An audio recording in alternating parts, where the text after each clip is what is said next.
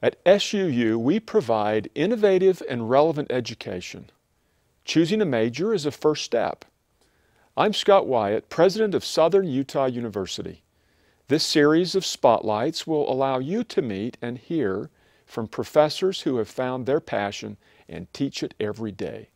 Who do we have with us, Ellen? This is Spotlight on Geology with Dr. Johnny MacLean.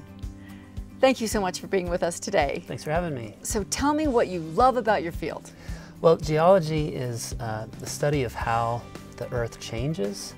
And uh, so I love getting outside and learning about and observing uh, the earth processes. It, it's a way for me to combine the recreation activities that I love with uh, professional experiences and, and what better way to get paid than to hang out outside and, uh, and make observations.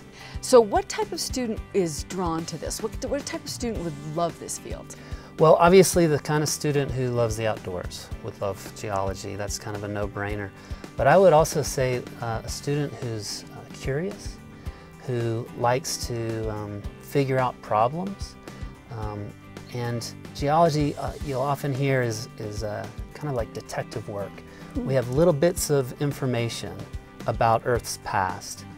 We don't have the whole story, but we have to take those little bits of information and piece them together to, uh, to interpret the, the most likely scenario, make predictions, test our predictions. So it's, it, it really is kind of like a Sherlock Holmes investigation. Great. Well, the opposite of that obviously is who would hate it? Right, right. I guess if you hate the outdoors, um, there's still opportunities. Uh, it's becoming a, um, a lab-based science as well.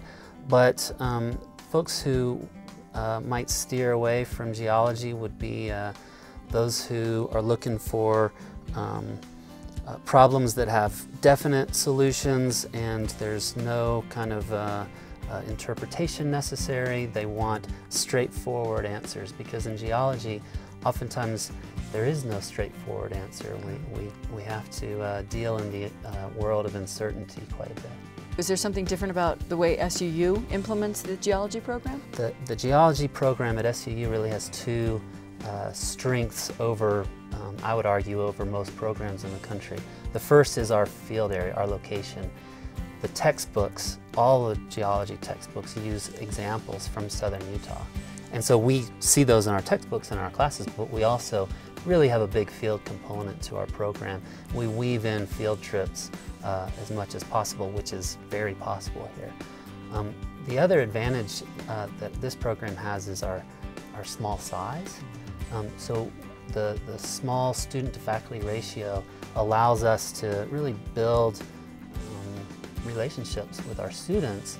You'll, you'll hear uh, graduate schools and employers uh, constantly say the best way to have an undergraduate education is a field-based education. What types of jobs are available for someone who earns their degree in geology? Right. Something people might not know about geology is the diversity of fields that they can work in. One of the well-known career paths would be the oil and gas industry. Mining industry is obviously another option, similar kind of story. Um, right here in southern Utah, we have several mines. We also have government uh, needs. And so not only do we need geologists on the industry side, but we need their correlative positions on the government side. And then the environmental consulting industry is, is a huge industry, whether whether that's having to do with groundwater needs, contamination problems, mm. um, alternative energy needs. It, they're all geology related. And it's something a lot of folks don't realize, but we need earth scientists, we need geologists, and the demand for these kinds of jobs is, is really high.